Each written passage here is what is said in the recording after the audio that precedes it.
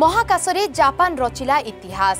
ପଞ୍ଚମ ଦେଶ ଭାବେ ଜହ୍ନରେ ଅବତରଣ କଲା ଜାପାନ। ଏହା ପୂର୍ବରୁ ଆମେରିକା ରୁଷ ଚୀନ ଏବଂ ଭାରତ ଜହ୍ନରେ ଅବତରଣ କରିସାରିଛନ୍ତି। ମହାକାଶଯାନ ମୁନ୍ ସ୍ନାଇପର ଲ୍ୟାଣ୍ଡର ଶୁକ୍ରବାର ରାତିରେ ଚନ୍ଦ୍ର ପୃଷ୍ଠରେ ସହଜରେ ଅବତରଣ କରିଛି। ଏହାକୁ ନେଇ ବୈଜ୍ଞାନିକମାନେ ଉତ୍ସବ ମନାଉଛନ୍ତି।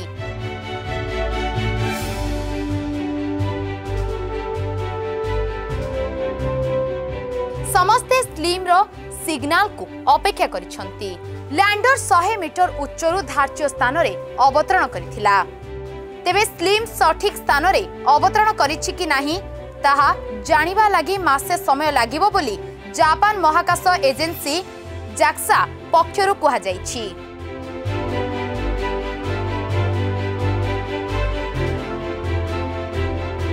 ଏହି ମହାକାଶ ଯାନରେ କେହି ମହାକାଶଚାରୀ ନଥିଲେ। ଦୁଇହଜାର ତେଇଶ ସେପ୍ଟେମ୍ବର ଛଅରେ smart lander for investigation moon mission launch ହୋଇଥିଲା। ସ୍ନାଇପର ଡିସେମ୍ବର ପଚିଶ ଚନ୍ଦ୍ର କକ୍ଷରେ ପହଞ୍ଚିଥିଲା। ଏହି ଯାନରେ ଉନ୍ନତ ଜ୍ଞାନ କୌଶଳ ବ୍ୟବହାର କରାଯାଇଛି।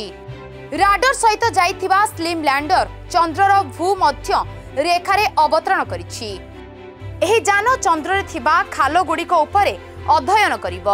ବୈଜ୍ଞାନିକଙ୍କ ଅନୁଯାୟୀ ଅଗ୍ନେୟଗିରି ଉଦ୍ଗୀରଣ ଯୋଗୁଁ ଚନ୍ଦ୍ରରେ ଅନେକ ଗର୍ତ୍ତ ସୃଷ୍ଟି ହୋଇଥିଲା। ଚନ୍ଦ୍ରର ଗଠନ ବିଷୟରେ ମଧ୍ୟ ସ୍ନାଇପର ଯାଞ୍ଚ କରିବ।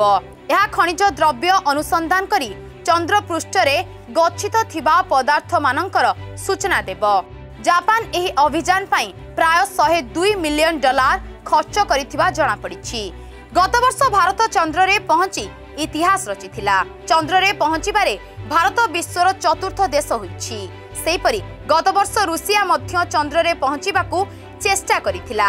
କିନ୍ତୁ ସେଥିରେ ବିଫଳ ହୋଇଥିଲା।